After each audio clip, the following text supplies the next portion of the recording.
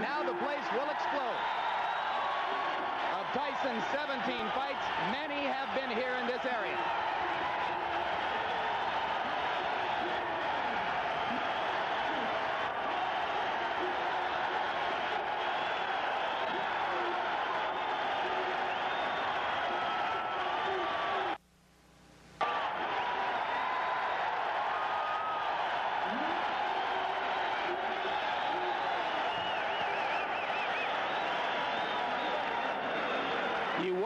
What pressure, if any, Tyson experiences at this stage of his career. He has recently been on the cover of national magazines, notably Sports Illustrated and The Ring magazine, a feature in People magazine.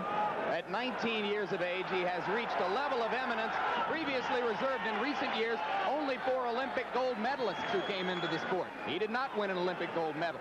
In fact, he lost in the Olympic trials to Henry Tillman. But of course, professional boxing, an entirely different prospect than amateur boxing, and it has been kind to Mike Tyson. Here we go. He is a fast starter. One thing we should mention, Jimmy, before the action heats up too much, is this is a 16-foot ring, very much to Tyson's liking. Starting out, going to the body. A couple of those punches appeared low.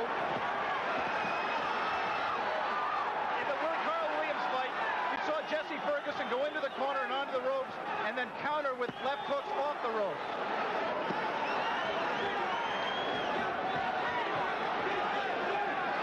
Referee is Luis Rivera out of New York City.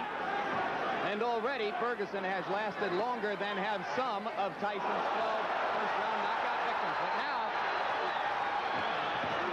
Tyson got an uppercut through the guard.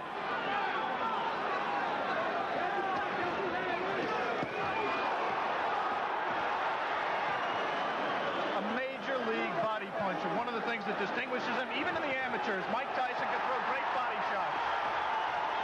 He takes what you give him, and right now Jesse Ferguson, Ferguson is just giving him the body. But Ferguson is standing still and allowing Tyson to swing away at the rib cage.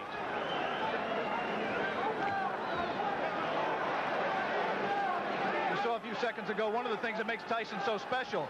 He threw a tremendous left hook, missed with it, and didn't go off balance. Always in position to punch. First sign of aggression from Ferguson there, but he went back into the shell.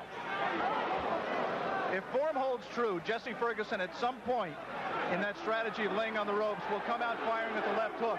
And if he does, and if he connects with Tyson's chin, we may have one of the questions that surrounds Mike Tyson's career answered.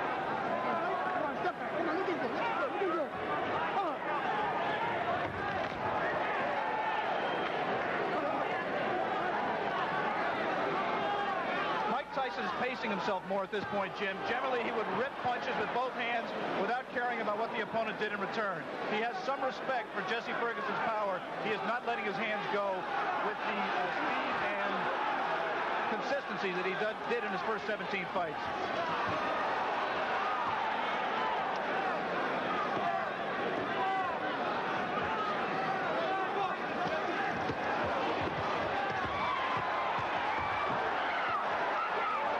Ferguson landed one good left. He seems to be gaining a little bit of confidence.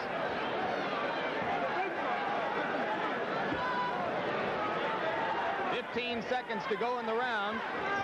Ferguson about to become the sixth of Mike Tyson's 18 opponents to make it through round one. We'll be back.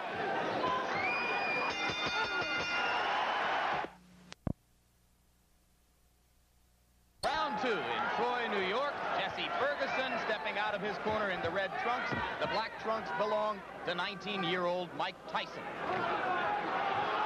Tyson's average bout to this point in his career lasted 2 minutes 58 seconds. Ferguson has gone farther than the average Tyson opponent. As I mentioned, only the sixth of 18 men to face Tyson in his professional career to make it as far as round two. We apologize for the quality of our audio at this moment. We are on our backup audio line. We'll stay with you. Now we're told that it's Tyson getting through the guard again. And in that one brief combination, you saw the speed of Mike Tyson, the thing that makes him special. Not just power, but he really gets the punch there quickly.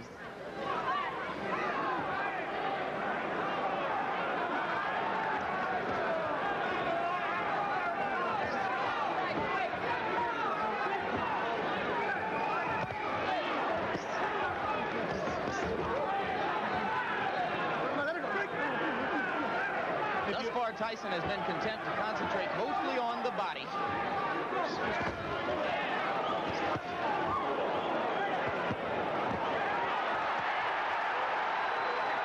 He hurt Ferguson a little bit with one of those body shots, Jim.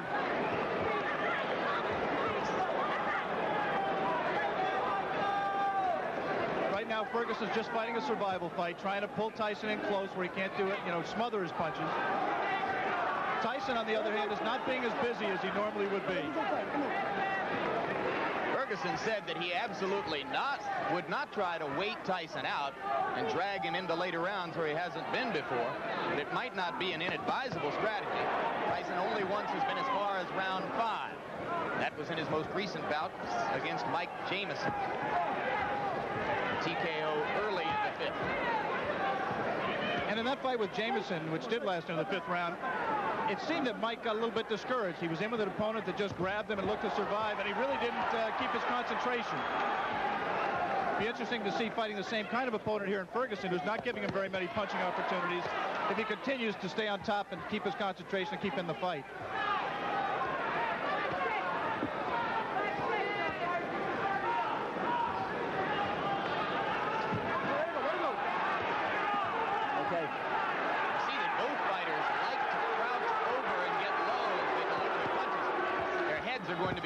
close together through much of this action.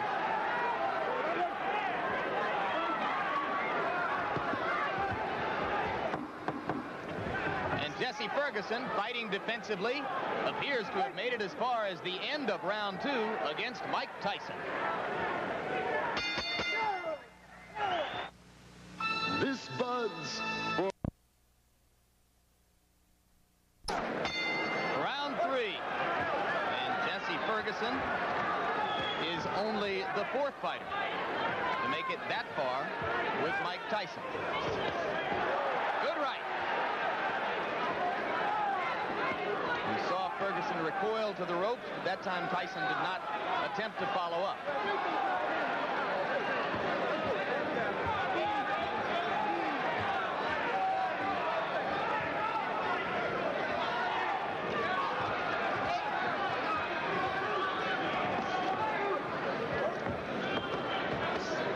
two of the questions that boxing people have raised about Mike Tyson that have yet to be answered are his chin and his stamina. Right now, he's in, been in three tough rounds. Not tough in the sense he's taking a lot of punishment, but he's throwing a lot. And I think the pressure of the event has got to drain something out of him. He is not breathing heavily. He looks pretty in pretty good shape at this point. You would find almost no one in the arena who believed before this began that it would go to a decision. But if it were to go that far, certainly Tyson has won the first two rounds and is controlling the third. You see quickness in Mike Tyson that really you've never seen with a fighter of his build in the heavyweight division. Of course, Muhammad Ali was quicker. Of course, perhaps Floyd Patterson was quicker, although Cus D'Amato, who trained and managed them both, said that he believes Tyson may be quick, as quick as Patterson. But never a man with that build, with that much power, throwing punches that fast. He has not sustained it in this fight, but in, in flashes, you have seen what has impressed so many people in his pro career to date. You mentioned, of course, the relationship to Patterson. Both fighters groomed by the now late Cus D'Amato. Their physical attributes are so dissimilar that there is really no direct comparison in style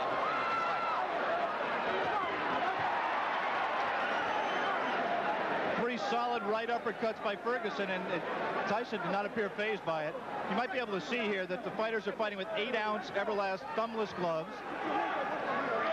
The 8 ounces in, instead of 10 ounces would favor a puncher like Tyson. As with the size of the ring we mentioned earlier, 16 feet 8 inches the ring. The thumbless gloves mandatory in New York State in non-title fights. That flurry right there by Tyson, he did not sit down in his punches. He threw a lot of punches, but they were, for him, pity-pat punches. He's got to set himself. Once again, those are arm punches. Coming to the end of round three. Already is becoming an interesting and educational experience for Mike Tyson, though a fight, like all the others he's been in, in which to this point he is totally in control.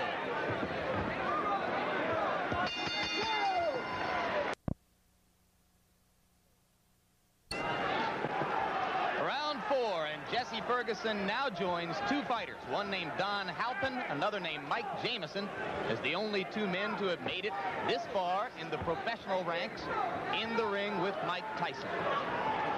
In case you have joined us late, the man in the black trunks is the young phenomenon of the heavyweight division, 19-year-old Michael Tyson, originally from Brooklyn, New York, now lives in Catskill, New York. 17 straight knockouts, 12 of them first-round knockouts, coming into this, his toughest test so far. A few moments ago, Jesse Ferguson looked over to referee Louis Rivera for some help. Uh, he just got hit a low blow, as he has been hit a few during this fight. His problem is his trunks are slipping down below his protector. Now, Jesse appears to want to say something to Tyson about the low blow. And the referee warns him not to headbutt Tyson.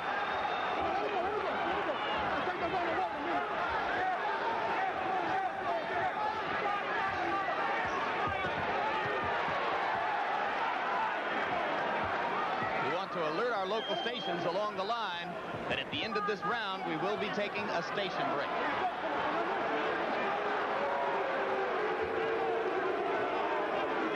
Crowd beginning to get restless. They would like to see Ferguson fighting a somewhat more offensive effort. Though so far, I have to think he's shown some intelligence, Alex. Well, he's fought to survive and not to win. He just threw one of the very infrequent left hooks that we touted and, and has, in fact, Ben, his trademark throwing his, through his career. He hasn't let the punch go because he's been safety-minded throughout this fight to date. He may be just pacing himself, trying to wait until Tyson tires himself out from all these home run punches he's throwing, and then looking to come on in the late rounds. Jim Lampley with Alex Wallau. Ringside, ABC Sports live from Troy, New York. Scheduled 10-round heavyweight fight between Mike Tyson and Jesse Ferguson. Tyson in the black trunks, Ferguson in the red. And coming into this round, Tyson has won all three previous rounds with almost dead certainty. If there is such a thing as dead certainty in the scoring of a boxing match. And you're here to tell us there isn't, I'm sure.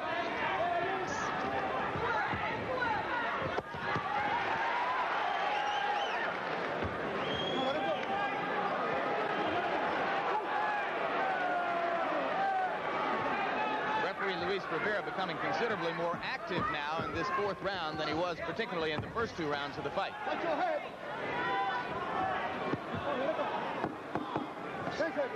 This was the least active round of the fight. We'll be back from Troy, New York after this message from your local stations.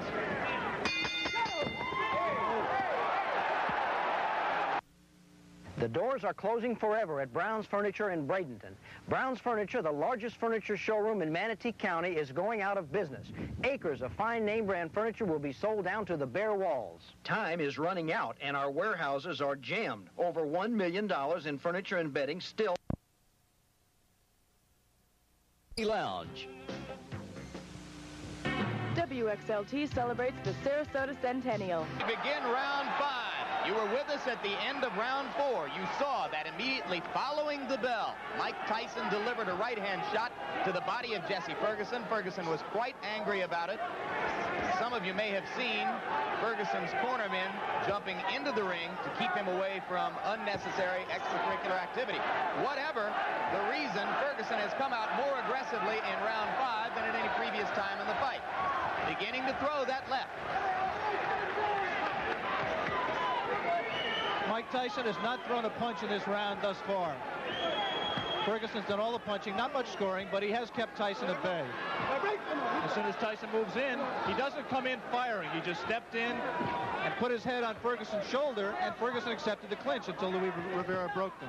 Three weeks ago, Tyson scored a TKO over a fighter named Mike Jameson at 46 seconds of the fifth round in Atlantic City. As of right now, Jesse Ferguson has lasted longer in the ring with the professional Mike Tyson than any of his 17 previous pro opponents.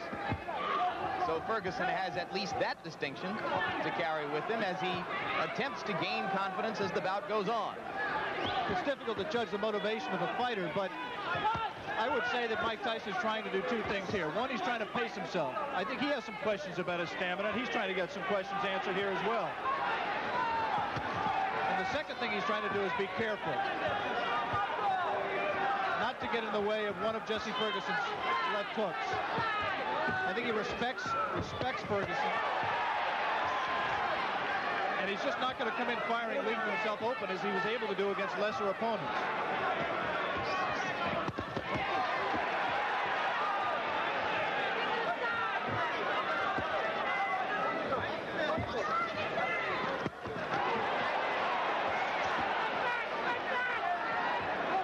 Ferguson in his 10-round loss to Carl the Truth Williams, a TKO defeat, was in trouble in both the first and 10th rounds, and now he's in trouble here. Blood coming out from the nose of Jesse Ferguson. The right uppercut of Tyson has put him down. Six, seven, eight. Up at nine is Jesse Ferguson. I think that uppercut broke Ferguson's nose, Jim. He is in desperate trouble. He will not last much longer.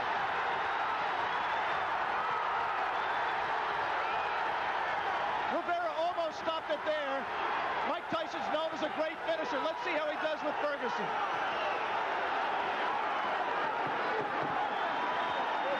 Ferguson gamely hanging in, having trouble covering up. Four seconds, three seconds. And Jesse Ferguson barely made it out of round five. He will stay here now.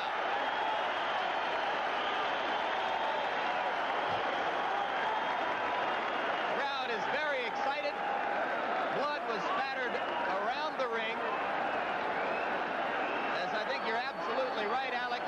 It appeared that the nose of Jesse Ferguson was broken by the brilliant uppercut. Another look. Tyson punching from very close quarters. The, the obvious punch right here is the uppercut. He turns around, digs right to the body, and then comes straight up with the right uppercut. Tyson has a tendency to turn left-handed. He turned left-handed to, la to land that combination and dropped Ferguson, and, and I think really just accelerated the pace of the fight, turned the tide, and I, I don't see how Ferguson can fight much longer in that condition. Obviously, the length of time that Mike Tyson went did not tire him out. He was still crisp with his punches, picked his shot, found his opening, came straight up the middle, and landed a devastating right hand. Beginning of round six. First time as a professional Tyson's ever been in this round. Ferguson trying to jab.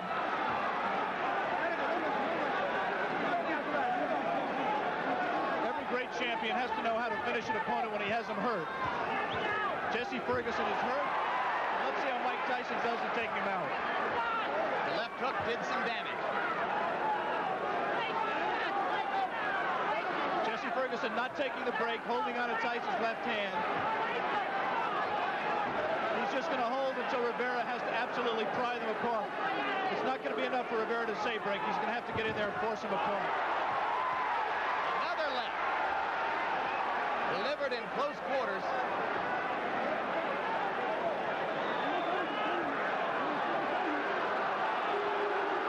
See, Ferguson just is not listening to Rivera at all. He's just going to continue to hold until he's, he just physically forces him out.